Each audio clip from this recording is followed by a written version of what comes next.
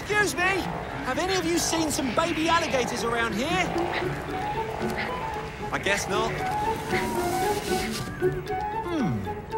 I wonder where they're off to. Wow, there are thousands of pelicans on that island. Maybe there are some baby alligators too. Right, time to land. Um, well, I don't want to startle anyone. I know. Engaging shrink mode.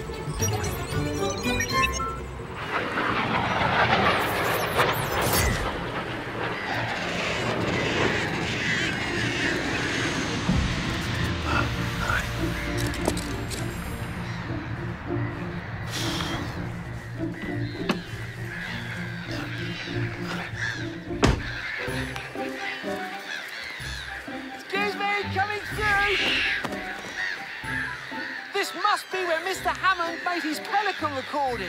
Just listen to that noise. Oh. Well, I'd love to stay here longer, but I've got a baby alligator to find and record. I think I'll head out onto the Mississippi. All I need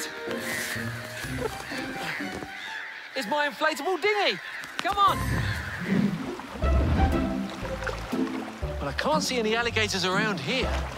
Whoa. Whoa. What's going on? I'm speeding up.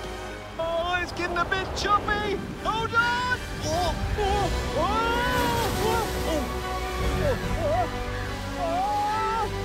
There's more pelicans. And lots of fish, too.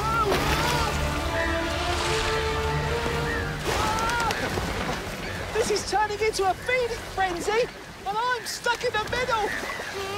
Help! Let me out! The pelican's large throat pouches and pointy beaks are perfect for snapping up fish.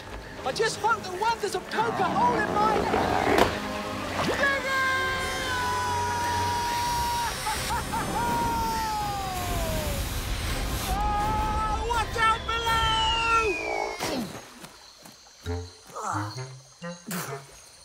Oh.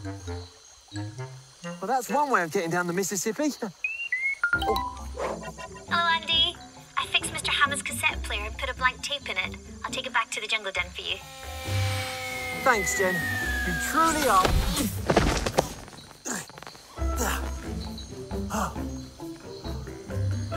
Amazing.